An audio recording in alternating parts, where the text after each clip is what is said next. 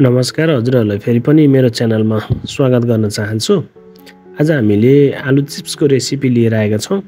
आलु चिप्स बनाउनको लागि एकदम सजिलैसँग हामीले घरमा यसलाई तयारी गर्न सक्छौँ। बजारमा पाउने आलु चिप्स भन्दा पनि हामीले सजिलै घरमा बनाएको आलु चिप्स एकदम स्वादिष्ट क्रन्ची हुन्छ र कम लागतमा कम खर्चमा यसलाई हामीले कम सामग्रीमै घरमा सजिलै तयारी गर्न सकिन्छ। आलु चिप्स बनाउनको लागि चाहिँ एकदम सजिलो छ। आउनुहोस् मिलेर सुरु गरौँ। सुरुमा हामीलाई आलु चाहिन्छ। हामीले एक केजी आलु लिएका छौँ। आलु चाहिँ एकदम नयाँ आलु हुन आवश्यक छ। नयाँ आलुको चाहिँ चिप्स एकदम राम्रो हुन्छ। पुरानो आलुको त्यति राम्रो हुन्न। सुरुमा आलुलाई धोएर पखालेर र राम्रोसँग यसलाई छिलेर लिनुपर्छ। हामीले यसलाई छिलिसकेका छौँ। हजुरहरूले देख्न सक्नुहुन्छ। चिप्स कटर अथवा यसलाई पिलरको मद्दतले पनि हामीले यसलाई चिप्स निकाल्न सक्छौँ। हजुरहरूले देख्न सक्नुहुन्छ। हामीले चिप्स निकाल्न सुरु गरिसकेका छौँ। यसरी एउटा पिलरको सहायताले हामीले यसलाई चिप्स निकाल्नेछौँ आज हामीले पुरै चिप्स पिलरको सहायताले निकाल्नेछौँ। हजुरहरूले देख्न सक्नुहुन्छ। यसरी हामीले एउटै साइजमा निकाल्नेछौँ र सबै आलुलाई हामीले यसरी नै चिप्स निकाल्नेछौँ। हामीले चिप्स निकालिसकेपछि चाहिँ यसलाई सफा पानीमा डुबाएर राख्नुपर्छ। आलुलाई चाहिँ हामीले सफा पानीमा डुबाएर राखेनौँ भने चाहिँ एकदम कालो भएर आउँछ। हामीले पानीमा डुबाएनौँ भने त्यसैले यसलाई हामीले पानीमा डुबाएर राख्छौँ। यसको सम्पूर्ण हामीले चिप्स पनि यसलाई पानीमा डुबाएर राख्छौँ।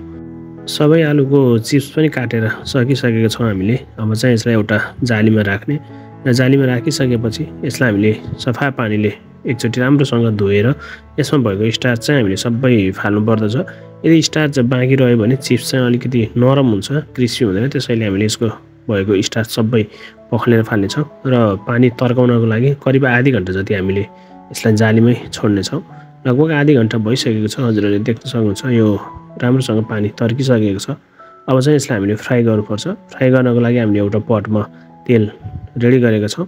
र यसलाई चाहिँ हामीले सुरुमा लो फ्लेम त्यसपछि मिडियम फ्लेम हुँदै हामीले हाई फ्लेममा यसलाई निकाल्नेछौँ। यसलाई चाहिँ हामीले बिचबिचमा चलाइराख्नुपर्छ। हामीले चाहिँ यसलाई एकछिन लो फ्लेममा पकाएर अलिकति लामो समय मिडियम फ्लेममा त्यसपछि हामीले निकाल्ने बेलामा चाहिँ हाई फ्लेममा यसलाई बनाउनेछौँ। हजुरहरूले देख्न सक्नुहुन्छ चिप्स चाहिँ लगभग तयारी भइसकेको छ। अब चाहिँ यसलाई हामीले निकाल्नेछौँ। निकालेर एउटा बाउलमा राख्छौँ। यसरी बाँकी रहेको सबै चिप्सलाई फेरि हामीले यसरी नै फ्राई गर्नेछौँ सेम प्रोसेसमा र फ्राई गरिसकेपछि हामीले पुनः सोही बाउलमा राख्नेछौँ।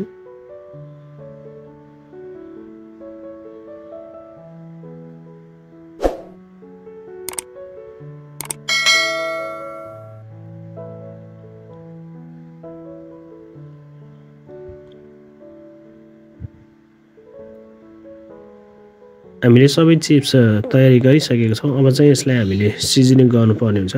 सिजनिङ गर्नको लागि चाहिँ सुरुमा हामीले काश्मिरी मिर्च powder one fourth tablespoon राखेका छौँ। त्यस्तै हामीले ब्ल्याक सल्ट टु पिन्च राखेका छौँ र chaat masala one fourth tablespoon यसमा हामीले राखेका छौँ र जिन्जर एन्ड गार्लिक पाउडर चाहिँ हामीले वान फोर्थ टेबल स्पुन राखेका छौँ र एक चम्चा जति हामीले चिज पाउडर पनि राखेका छौँ। चिज पाउडरले चाहिँ हाम्रो चिप्स एकदम स्वादिष्ट हुने भएकोले हामीले चिज पाउडर एड गरेका छौँ।